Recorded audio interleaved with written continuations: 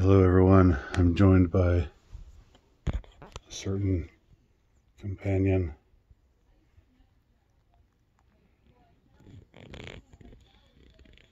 I've got my pussy right next to me right now, as you can see. The only pussy I'll ever need. I know, classy talk. Um, I thought I would reflect in this uh, pillow talk session of my uh, my broadcast. Um, reflect upon the current state of virtuality. Now, virtuality uh, has been extensively promoted really ever since the digital age started. You know, it became possible to uh, to be with others in a way to to uh, to see others on a screen and talk to them and and all this got stepped up of course and with the the last year of the nonsense. I'm just going to call it the nonsense. Okay from now on it's just it's the nonsense. Not any of the not any of the words that i'm supposed to to use to talk about it because none of those words uh, describe it as well as the nonsense that uh, that went into effect early last year and was in effect for for some time and is still in effect in some ways now. Um, it was during that time that they really stepped up this call for virtuality, you know, like Zoom call, you know, Zoom call your family and talk to them and you know and we would see these commercials oh it's just wonderful. You're sitting in your living room looking at your parents sitting in their living room and you're talking to each other and you're having a wonderful time together. It's just you know they might as well just really be there. Um and you know I, I even heard some things like you know oh we're going to have a virtual party or you know like there there are all these things like it's a uh, you know, this is an online convention, um, a virtual convention, and TV shows. Not that I care about most TV shows. Not that I care about the entertainment industry at all these days. Right, Tiger Tom? What do you think? He doesn't care either. Um, but it was just like, oh, you know, we don't really need to be together in the same room, and now we have to be, we have to be six feet apart, uh, and it's just not safe for us to be together. Uh, it's just not responsible to go someplace and be with your friends anymore. Uh, but that's okay because we have this wonderful technology that enables us to be with each other, even if we're not really present to one another. We are virtual. We are virtual buddies. We are together in the virtual world. And, you know, there are all these jokes made. I've, you know, and I've said this before, like, I, I don't understand. I don't, I, I mean, I, I hear people, you know, I even, you know, listen to people who I think are, are funny, you know, YouTube commenters or, or whatever. Some of them aren't uh, are, aren't red pilled. You know, some of them are just are, are normies, but they're they're funny uh, guys, and and you know that I like to listen to a lot of the time. But when they start talking about uh, anything related to this stuff, and and and they say things like, you know, they make they they I, I've heard so many jokes made about, oh, you know, some variation of I just I can't remember what it's like to be outside. I haven't left my house. Uh, I haven't left my house in so long. I can't remember what it what uh, sunlight sunlight on a blade of of grass looks like, except through my window. I mean, just utter crap like that. I, I just, uh, I mean, I, and it makes me think that there actually were people there actually have been people who have chosen to be shut in to that extent where they don't leave their houses. but every time it's it's a mystery to me because every time I go out and I've been out, there's never been a time I haven't gone, I haven't left my house. Never, not once. Uh, there was no time. There was not even a small period of time. I mean, uh, maybe for some of you, it was like, oh, those first couple weeks, you know, when they said stay home, I really took that seriously. I, I stayed home. I stayed way the hell home. Nah. I mean, I have to get out and about. I get cabin fever really, really easily. You don't want you don't want to see me when I've got cabin fever. You wouldn't like me, you know, like Bill Bixby said, as uh, on the Incredible Hulk in that uh, famous intro. You you wouldn't like me when I've got cabin fever. Uh, and and every time I've gone out, even back in uh, even back when everybody was when there were no doubters, when everybody was taking this seriously back in in March or whatever, um, March of last year, I was still when I went out. There were other people who are out who were out. There was never any shortage of cars on the road. You know, it's like, oh, there's no commute anymore because nobody's going to work. Well, I'm sure that was true for a lot of people. But I mean, every time I went out, it, it wasn't like it was never like a ghost town. It was never it was never like that in my frame of reference. Now I I, I accept that for others maybe it was different. Maybe maybe uh, things were different in your neck of the woods, but that was never the case for me. And so I always just from the start was just, and I still do, you know, think to myself when I hear these kinds of witticisms, uh, so, so supposed witticisms about, oh, I've just, I haven't left my house in so long. Am I ever going to leave my house again? Um, but anyway, that's that that's uh, slightly that's a slight tangent from the subject. It's still it's not a total deviation, but it's a slight tangent. Um, I really think that virtuality has been pushed on us really hard over not just the last year. Of course, it has over the last year, but but in the last ten years, it's it's been like the wonders of virtuality.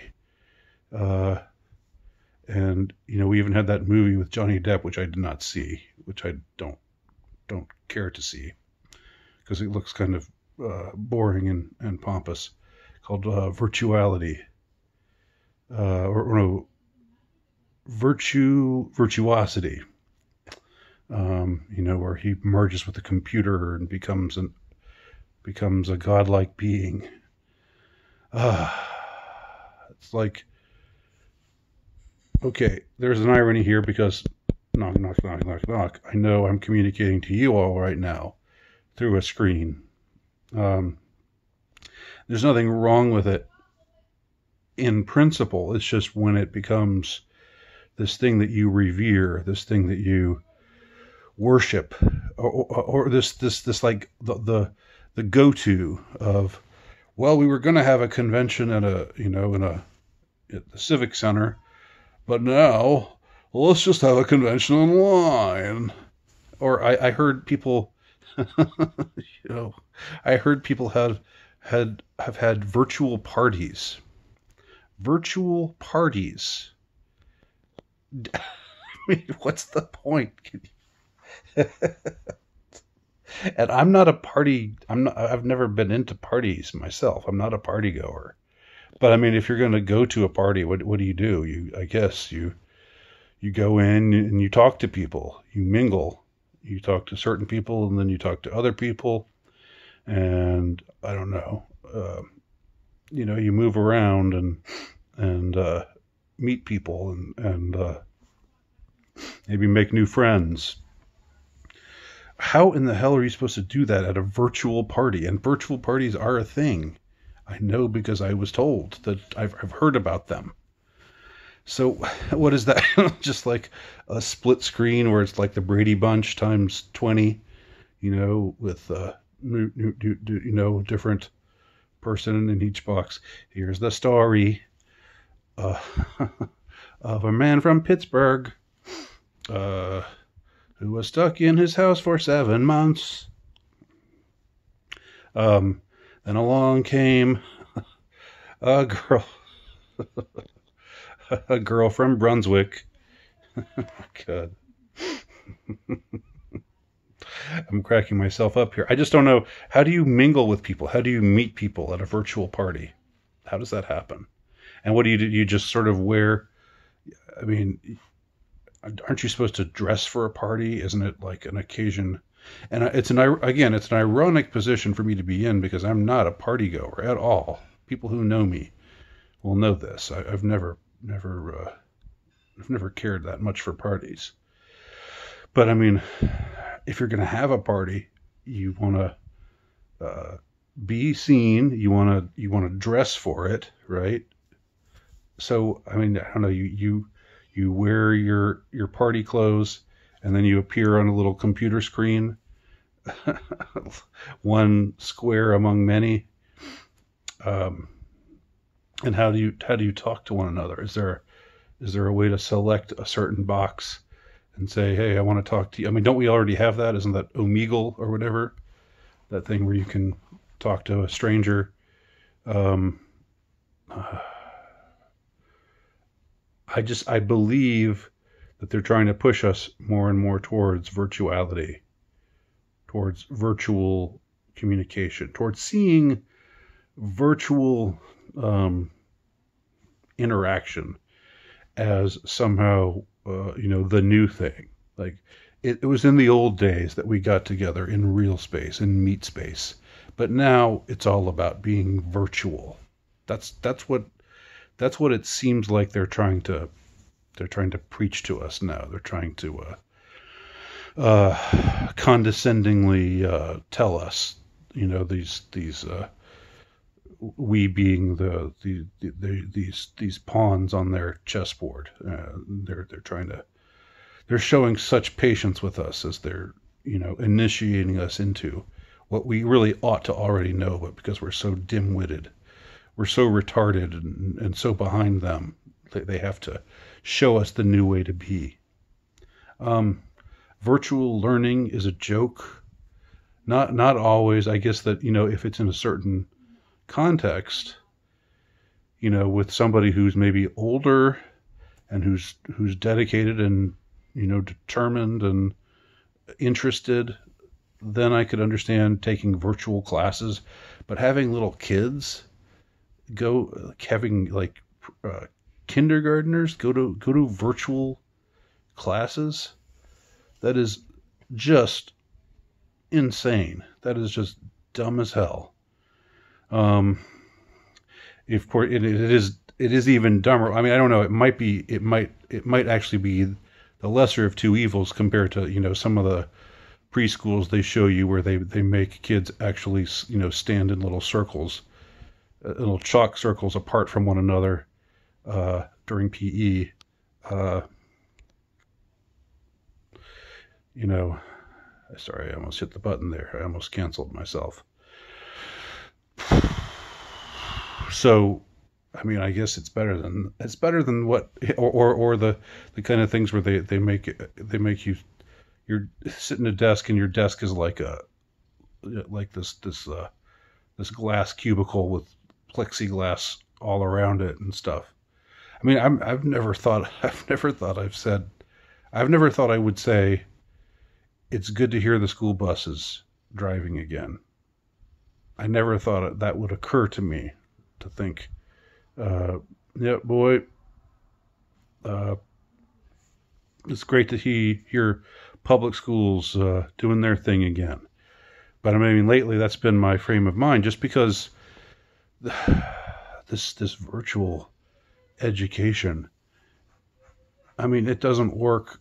It doesn't work on any level, but it, particularly not for for little kids um, and particularly not for the less engaged already. The less engaged, they don't they don't want to be staring at a screen. That's so so dumb. So, what am I saying here in this somewhat rambling uh, discussion?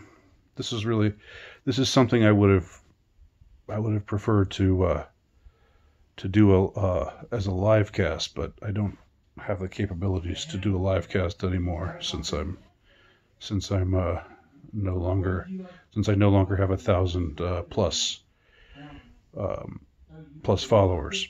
Um, but we've got to move away from this. We've got to absolutely say, uh, screw this virtual stuff. You know, if if I if I want to go to a convention, I don't want to go to a virtual convention. A virtual convention is lame. It is lame. Let me go. Let me go to a real convention where I'm actually sitting in a room with other people. Um, I'm not really attending. There's no attending a virtual convention. Yes, you can watch it, but are you in attendance?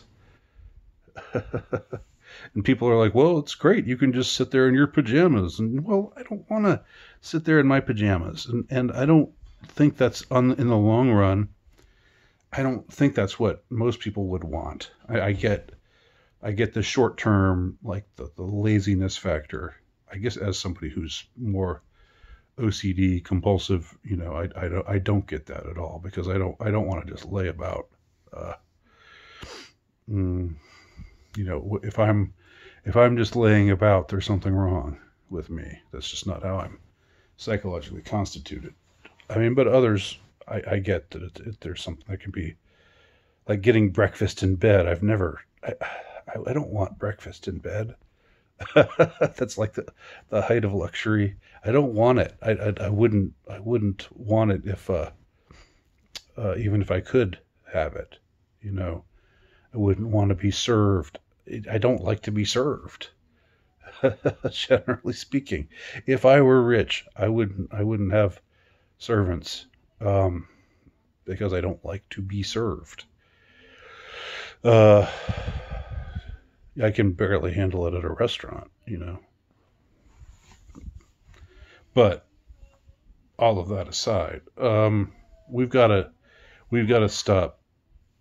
Uh, we've got to show. We've got to register disapproval of all this virtual crap. This this effort to make everything virtual. Um, you know, to say that that being virtu- virtually there is the same thing as being there. It isn't. It just isn't. And uh, that's all I have to say about this. And I, I know, again, it's ironic because you're virtually hearing me say these things, aren't you? But so it goes. I still think my point is valid. Uh, let me know what you think. My name is Andy Nowicki. You can check out my work at altrightnovelist.com.